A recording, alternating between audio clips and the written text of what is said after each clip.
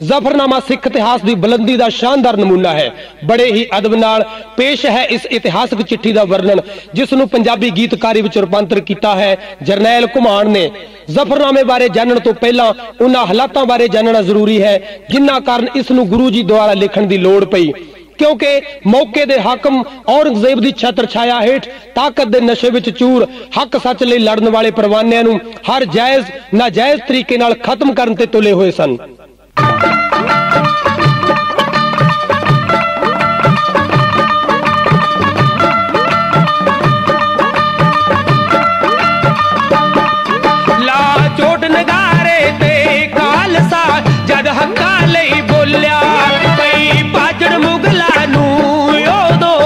ਪੁੱਤ ਦਿੱਲੀ ਦਾ ਡੋਲਿਆ।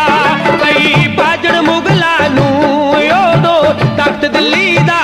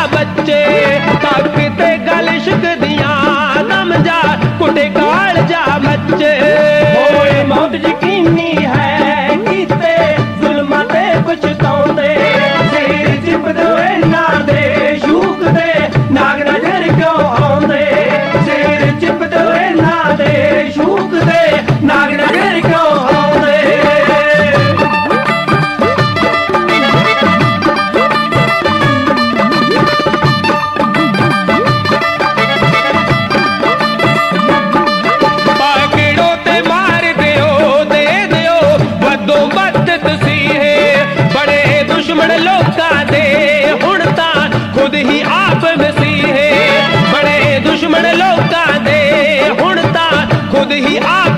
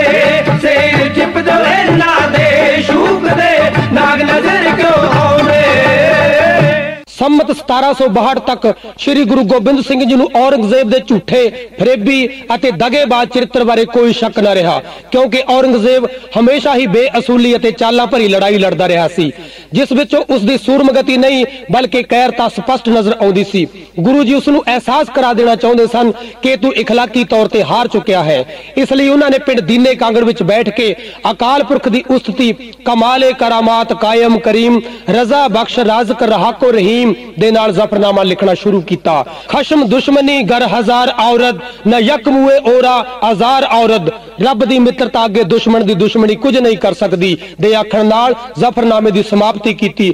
ਭਾਈ ਦਇਆ ਸਿੰਘ ਅਤੇ ਭਾਈ ਧਰਮ ਸਿੰਘ ਨੂੰ ਫਾਰਸੀ ਭਾਸ਼ਾ ਵਿੱਚ ਲਿਖੀ ਇਹ ਚੜ੍ਹਦੀ ਕਲਾ ਦੀ ਚਿੱਠੀ ਦੇ ਕੇ ਔਰੰਗਜ਼ੇਬ ਵੱਲ ਘੱਲ ਦਿੱਤਾ।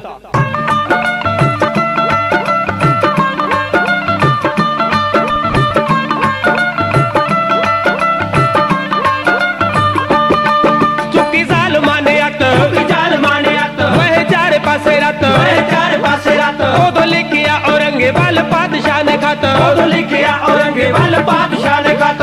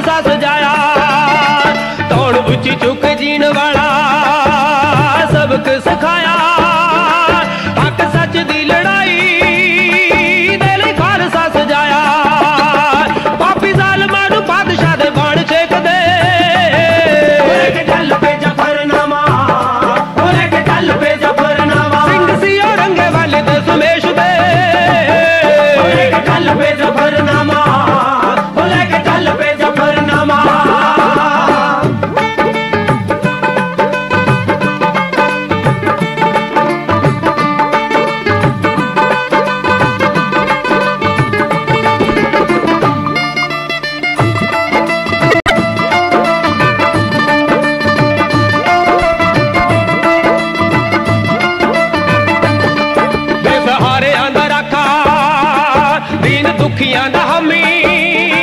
ਤੇਗ ਸੱਚ ਦੀ ਚਲਾ ਕੇ ਕੱਟੀ ਕੌਮ ਦੀ ਗੁਲਾਮੀ। ਬੇਸਹਾਰਿਆਂ ਦਾ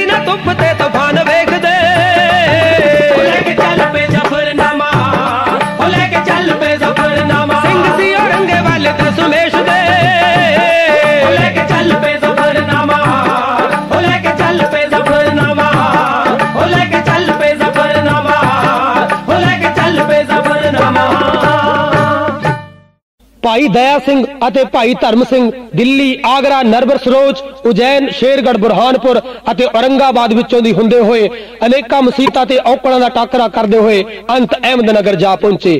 ਔਰੰਗਜ਼ੇਬ ਦੇ ਝੂਠ ਫਰੇਬ ਦੀ ਤਸਵੀਰ ਉਸਦੇ ਹੱਥਾਂ ਵਿੱਚ ਜਾ ਫੜਾਈ।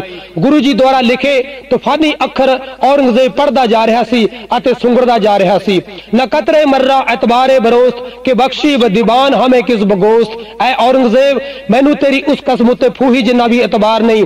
ਜਿਹੜੀ ਤੈ ਲੜਾਈ ਸਮੇਂ ਸਮਝੌਤੇ ਵਜੋਂ ਖਾਦੀ ਸੀ, ਕਿਉਂਕਿ ਤੇਰਾ ਹਰੇਕ ਬਖਸ਼ੀ ਅਤੇ ਹਰੇਕ ਦੀਵਾਨ ਝੂਠ ਬੋਲਣ ਵਾਲਾ ਹੈ।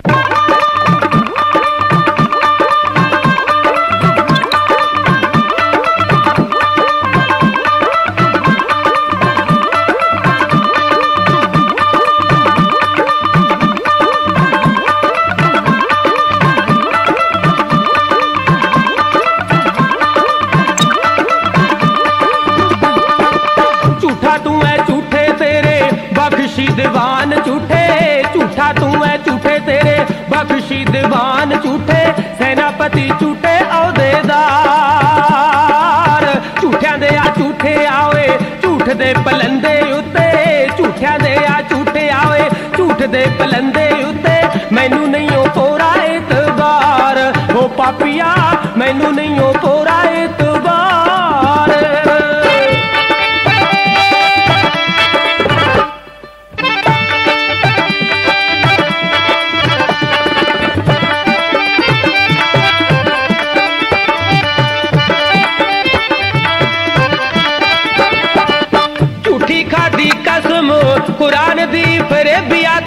ਤੇ ਮੰਨਿਆ ਸੀ ਖੁਦਾ ਨੂੰ ਗਵਾ ਵਾਸਤਾ ਇਲਾਹੀ ਜੋਤ ਵਾਲਾ ਪਾਇਆ ਪਾਪੀਆ ਤੇ ਤਾਈਓ ਤੇਰਾ ਕਰਿਆ ਵਿਸਾਰ ਜੀਨੇ ਜੀਨੇ ਕਰਿਆ ਭਰੋਸਾ ਤੇਰੇ ਕਹੇ ਉੱਤੇ ਜੀਨੇ ਜੀਨੇ ਕਰਿਆ ਭਰੋਸਾ ਤੇਰੇ ਕਹੇ ਉੱਤੇ ਹੋਇਆ ਓਯੋ ਖੱਜਲ ਖੁਆਰ ਹੋ ਪਾਪੀਆ ਹੋਇਆ ਓਯੋ ਖੱਜਲ ਖੁਆਰ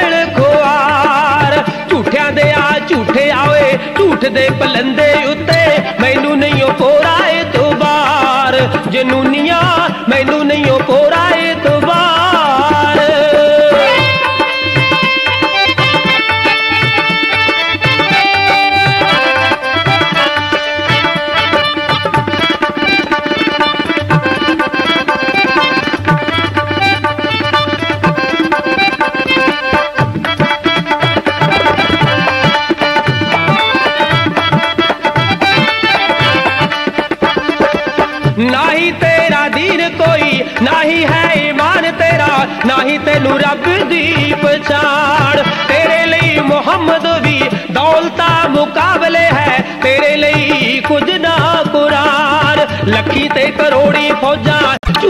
ਨਿਸ਼ਾਨ ਤੱਕ ਲੱਖੀ ਤੇ ਕਰੋੜੀ ਫੌਜਾਂ ਝੂਲ ਦੇ ਨਿਸ਼ਾਨ ਤੱਕ ਤੈਨੂੰ ਬੜਾ ਹੋ ਗਿਆ ਹੰਕਾਰ ਉਹ ਪਾਪੀਆ ਤੈਨੂੰ ਬੜਾ ਹੋ ਗਿਆ ਹੰਕਾਰ ਝੂਠਿਆਂ ਦੇ ਆ ਝੂਠੇ ਆਵੇ ਝੂਠ ਦੇ ਪਲੰਦੇ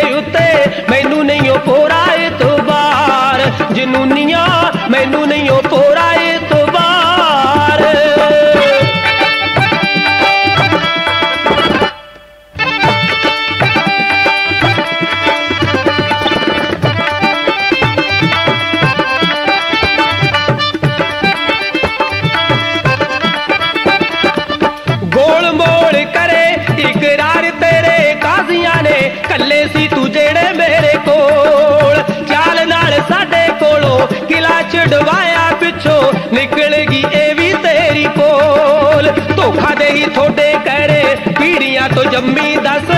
ਧੋਖਾ ਦੇ ਹੀ ਥੋੜੇ ਕਰੇ ਪੀੜੀਆਂ ਤੋਂ ਜੰਮੀ ਦੱਸ। ਸਕਦਾ ਸੀ ਕਿਵੇਂ ਤੂੰ ਵਿਸਾਰ? ਉਹ ਪਾਪੀਆ, ਸਕਦਾ ਸੀ ਕਿਵੇਂ ਤੂੰ ਵਿਸਾਰ? ਝੂਠਿਆਂ ਦੇ ਆ ਝੂਠੇ ਆਵੇ, ਝੂਠ ਦੇ ਪਲੰਦੇ ਉੱਤੇ ਮੈਨੂੰ ਨਹੀਂ ਉਹ ਪੋਰਾ ਇਤਬਾਰ ਜਨੂਨੀਆਂ, ਮੈਨੂੰ ਨਹੀਂ ਉਹ ਪੋਰਾ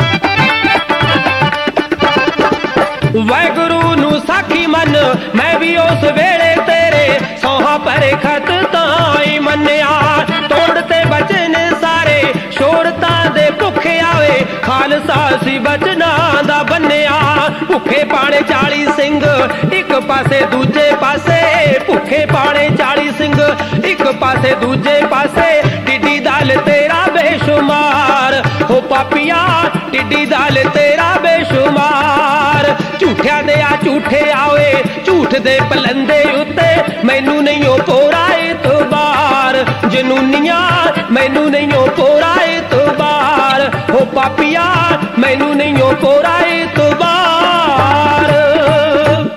ਜੇ ਜ਼ੁਲਮ ਕਰਨਾ ਪਾਪ ਹੈ, ਤਾਂ ਜ਼ੁਲਮ ਸਹਿ ਲੈਣਾ ਉਸ ਤੋਂ ਵੀ ਵੱਡਾ ਪਾਪ ਹੈ। ਔਰੰਗਜ਼ੇਬ ਪਾਪੀਆ ਤੇ ਕੁਰਾਨ ਦੀ ਸੌਂ ਦਾ ਫਰੇਬ ਕਰਕੇ ਸਾਨੂੰ ਅਨੰਦਪੁਰ ਚੋਂ ਬਾਹਰ ਕੱਢਿਆ ਕਿ ਪੈਮਾ ਸ਼ਿਕਨ ਬਦਰੰਗ ਆਮਦੰਦ, ਮੈਂ ਤੇਗ ਤੀਰੋ ਤਫੰਗ ਆਮਦੰਦ। ਫੇਰ ਸਾਰੇ ਕੀਤੋ ਹੋਏ ਕੌਲਾਂ ਇਕਰਾਰਾਂ ਨੂੰ ਤੋੜ ਕੇ ਤੇਰਾ ਟਿੱਡੀ ਦਲ ਸਾਡੇ ਉੱਪਰ ਟੁੱਟ ਪਿਆ। ਗੁਰਸਨੇ ਚਿਕਾਰੇ ਕੁੰਦ ਚਹਿਲ ਨਰ ਕੇ ਦਹਿਲਕ ਬਰਾਇਦ ਬਰੋ ਬੇਖਬਰ, ਭੁੱਖੇ ਭਾਣੇ 40 ਆਦਮੀਆਂ ਉੱਪਰ ਜਦੋਂ 10 ਲੱਖ ਦੀ ਫੌਜ ਟੁੱਟ ਪਵੇ, ਮਕਾਰ ਤੂੰ ਇਸ ਨੂੰ ਕਿਹੜੀ ਲੜਾਈ ਆਖੇਗਾ? ਮਜਬੂਰਨ ਮੈਨੂੰ ਵੀ ਲੜਾਈ ਵਿੱਚ ਆਉਣਾ ਪਿਆ। ਕਿਉਂਕਿ ਚੁੰਕਾਰ ਅਜ਼ਹਮਾ ਹੀਲ ਤੇ ਦਰ ਗੁਜਸ ਹਲਾਲ ਅਸਤ ਬੁਰਦਨ ਬਸ਼ਮਸ਼ੀਰ ਦਸਤ, ਜਦ ਸਾਰੇ ਵਸੀਲੇ ਮੁੱਕ ਜਾਣ, ਤਾਂ ਤਲਵਾਰ ਚੁੱਕ ਲੈਣੀ ਹੀ ਜਾਇਜ਼ ਹੁੰਦੀ ਹੈ।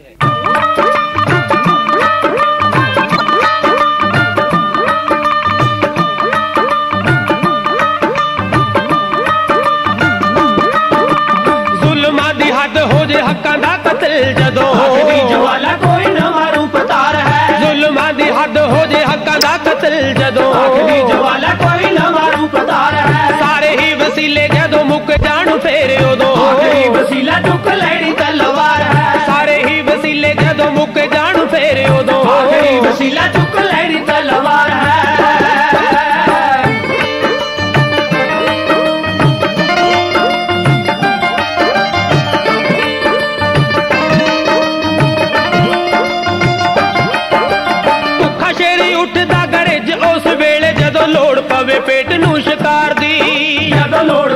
ਪੇਟ ਨੂੰ ਸ਼ਿਕਾਰ ਦੀ। ਬਾਗੀ ਅਖਵਾਉਂਦੀ ਕੋਈ ਕੌਮ ਹੰਬਹਾਰ ਜਦੋਂ ਅਣਖੇ ਤੇ ਆਬਰੂ ਵੰਗਾਰ ਦੀ। ਜਦੋਂ ਅਣਖ ਤੇ ਆਬਰੂ ਬੰਗਾਰ ਦੀ। ਲੋਕਾਂ ਦਾ ਹਜੂਮ ਇੱਕ ਝੰਡੇ ਥੱਲੇ ਇਕੱਠਾ ਹੁੰਦਾ। ਪੂਰਤੀ ਨਾ ਕਰੇ ਸਰਕਾਰ ਹੈ। ਸਾਰੇ ਹੀ ਵਸੀਲੇ ਜਦੋਂ ਮੁੱਕ ਜਾਣ ਫੇਰ ਉਦੋਂ। ਆਖਰੀ ਵਸੀਲਾ ਚੁੱਕ ਲੈਣੀ ਤਲਵਾਰ ਹੈ। ਸਾਰੇ ਹੀ ਵਸੀਲੇ ਜਦੋਂ ਮੁੱਕ ਜਾਣ ਫੇਰ ਉਦੋਂ। ਆਖਰੀ ਵਸੀਲਾ ਚੁੱਕ ਲੈਣੀ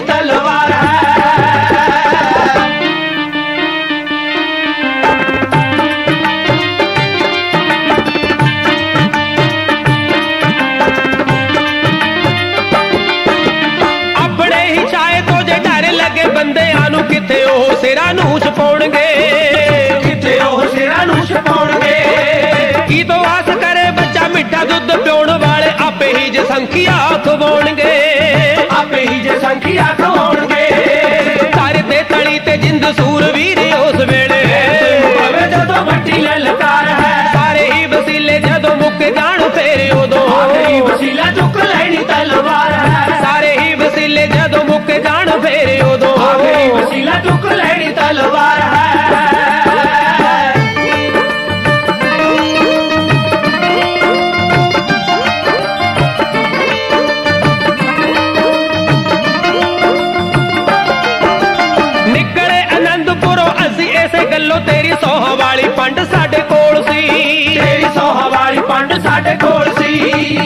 ਦੂਜਾ ਸੀ ਪਰੋਸਾਇਓ ਅਕਾਲ ਪੁਰਖ ਉੱਤੇ ਤੀਜਾ ਪੱਲੇ ਕੁਝ ਸਿੰਘ ਅਣਮੋਲ ਸੀ। ਸਾਡੇ ਪੱਲੇ ਕੁਝ ਸਿੰਘ ਅਨਮੋਲ ਸੀ।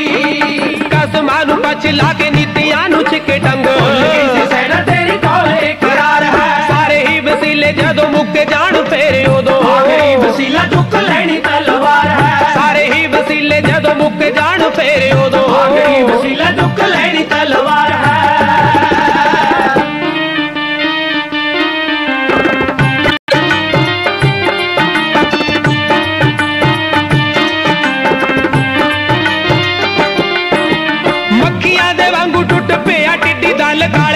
ਕਾਲੇ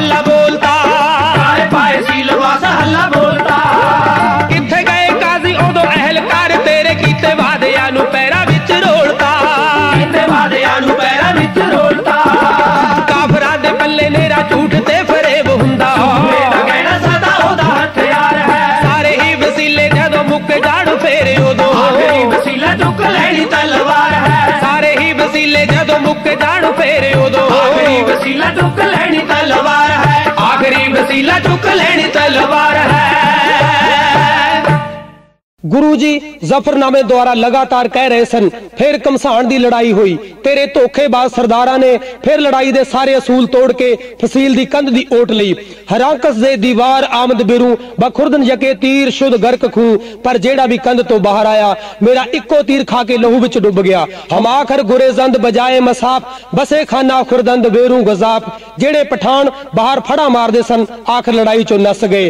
ਕਿਉਂਕਿ ਮੌਜ ਮਸਤੀਆਂ ਮਨਾਉਣ ਵਾਲੇ ਦਿਹਾੜੀਦਾਰ ਸਿਪਾਹੀ ਹੱਕ, ਸੱਚ ਅਤੇ ਇਨਸਾਫ ਲਈ ਲੜਨ ਵਾਲੇ ਸਿਰਲੱਥ ਯੋਧਿਆਂ ਦਾ ਮੁਕਾਬਲਾ ਨਹੀਂ ਕਰ ਸਕਦੇ। ਤਾਕਤ ਦੇ ਜ਼ੋਰ ਨਾਲ ਰਾਜ ਕਰਨ ਵਾਲੇ ਫਰੇਬੀਆ, ਰੇਤ ਦੇ ਟਿੱਬੇ ਉੱਪਰ ਉਸਰਿਆ, ਤੇਰੇ ਪਾਪਾਂ ਦਾ ਮਹਿਲ ਢੇਰੀ ਹੋਣ ਵਾਲਾ ਹੀ ਹੈ।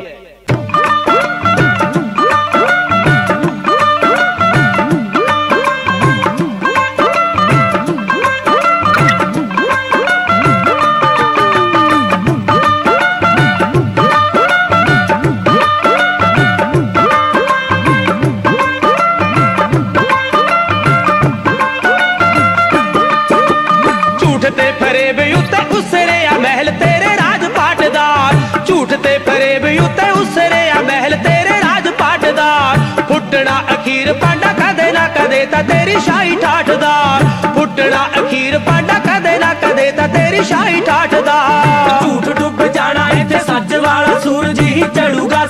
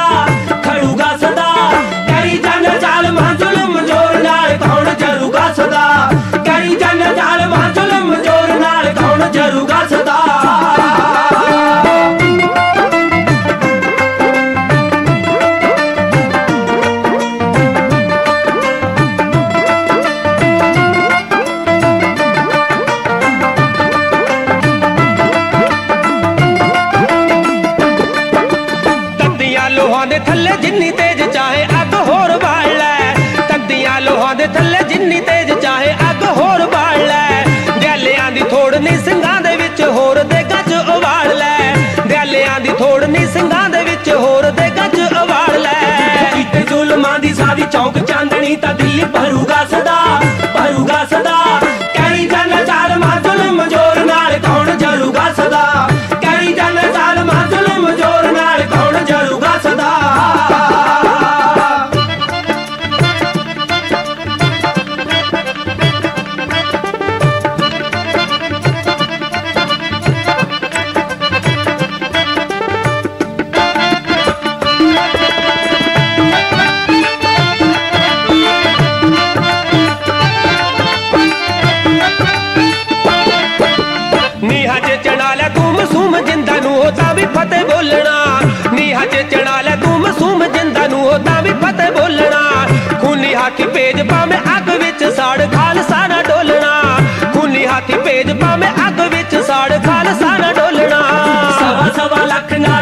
ਕੱਲਾ ਸਿੰਘ ਮੇਰਾ ਲੜੂਗਾ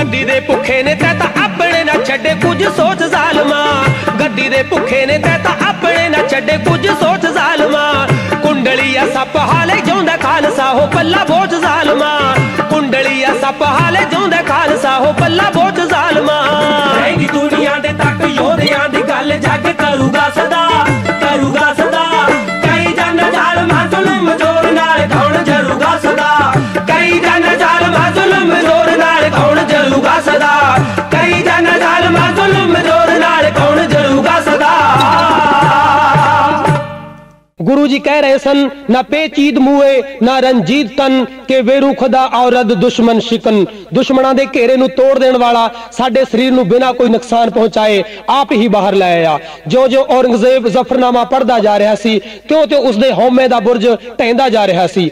ਉਸ ਨੂੰ ਆਪਣਾ ਸਰੀਰ ਤੁਰਦੀ ਫਿਰਦੀ লাশ ਵਰਗਾ ਜਾਪਣ ਲੱਗ ਪਿਆ। ਨਾਲ ਹੀ ਗੁਰੂ ਗੋਬਿੰਦ ਸਿੰਘ ਜੀ ਦੀ ਮਹਾਨ ਸ਼ਖਸੀਅਤ ਨੂੰ ਵਾਰ-ਵਾਰ ਸਲਾਮ ਕਰਨ ਲੱਗਿਆ। ਜ਼ਫਰਨਾਮੇ ਦਾ ਇੱਕ ਇੱਕ ਅੱਖਰ ਔਰੰਗਜ਼ੇਬ ਨੂੰ ਮੋਹ ਵਾਂਗੂ ਢਾਲ ਰਿਹਾ ਸੀ।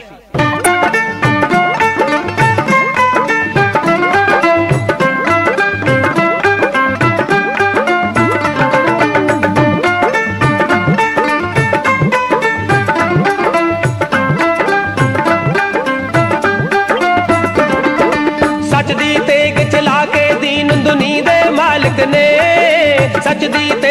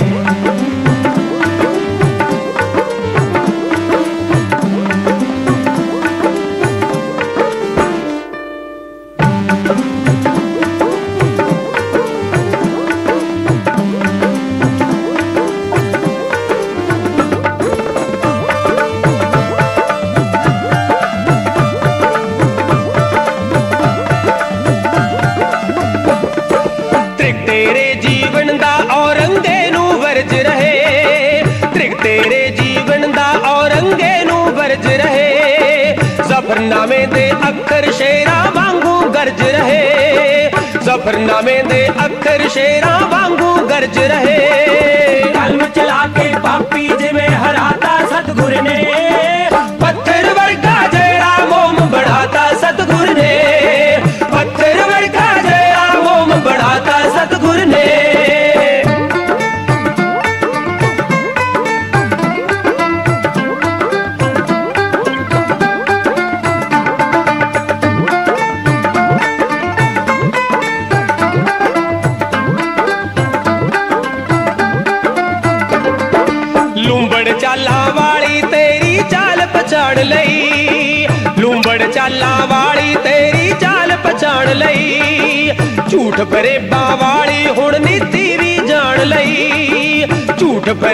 ਵਾਲੀ ਹੁਣ ਨੀਤੀ ਵੀ ਜਾਣ ਲਈ। ਆਪੀ ਅੰਦਰੋਂ ਅਸਲੀ ਮਰਦ ਜਗਾਤਾ ਸਤਗੁਰ ਨੇ। ਪੱਥਰ ਵਰਗਾ ਜਿਹੜਾ ਮੋਮ ਬਣਾਤਾ ਸਤਗੁਰ ਨੇ।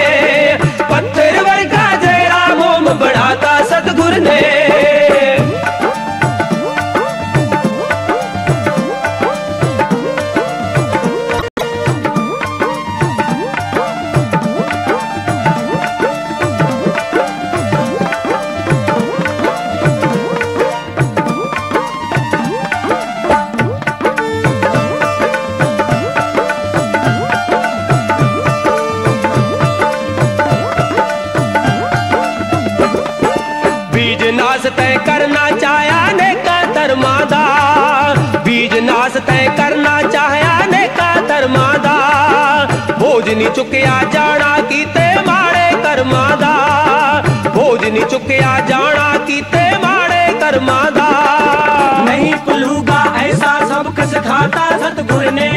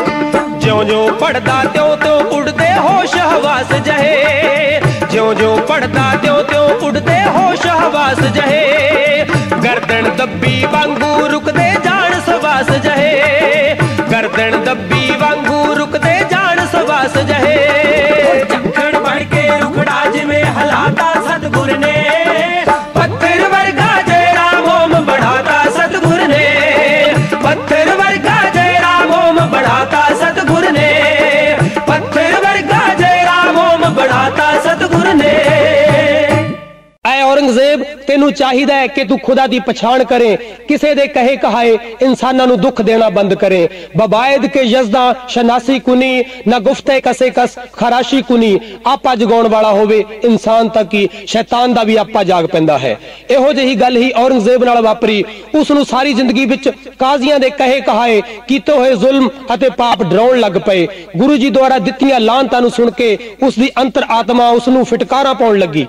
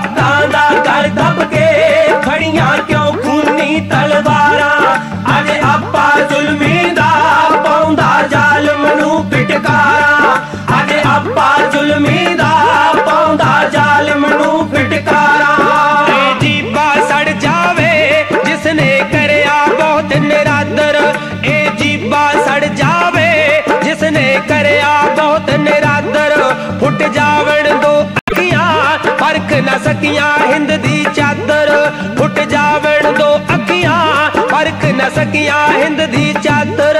ਹੱਥਾਂ ਵਿੱਚ ਕੋੜ ਚਲੇ ਜਿਨ੍ਹਾਂ ਨੇ ਬੇਪਤ ਕਰੀਆਂ ਨਾਰਾ। ਅੱਜ ਆਪਾ ਜ਼ੁਲਮੀ ਦਾ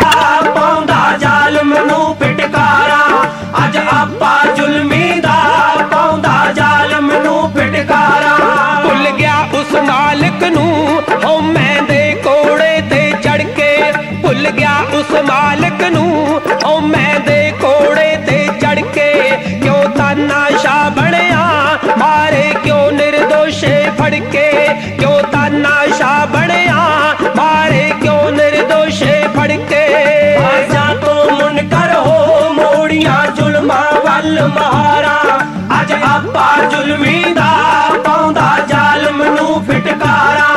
ਅੱਜ ਆਪਾ ਜ਼ੁਲਮੀ ਦਾ ਪਾਉਂਦਾ ਜ਼ਾਲਮ ਨੂੰ ਫਟਕਾਰਾ।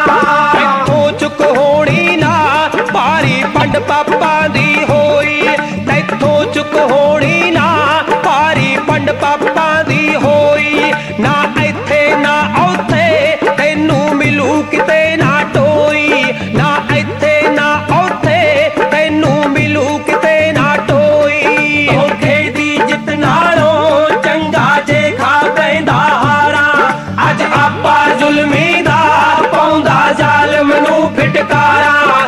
ਅੱਜ ਆਪਾ ਜ਼ੁਲਮੀ ਦਾ ਪਾਉਂਦਾ ਜ਼ਾਲਮ ਨੂੰ ਫਿਟਕਾਰਾ।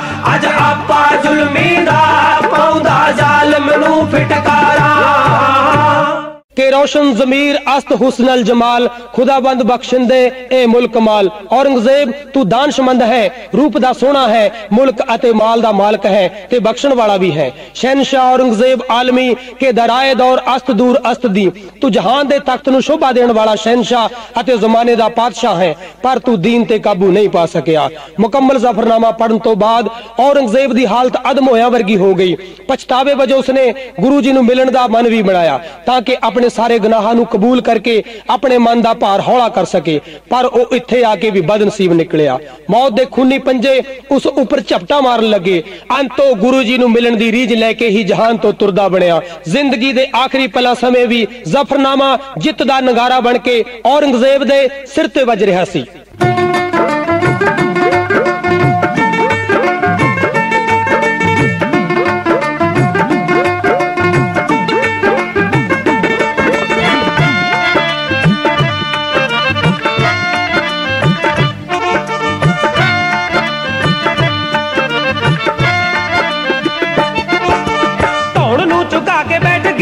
ਸ਼ਹਿਨशाह ਉਦੋਂ ਨੂੰ ਜਿਤਾ ਕੇ ਬੈਠ ਗਿਆ ਸ਼ਹਿਨशाह ਉਦੋਂ। ਜਿੱਤਾ ਤੇ ਲੜਾਈਆਂ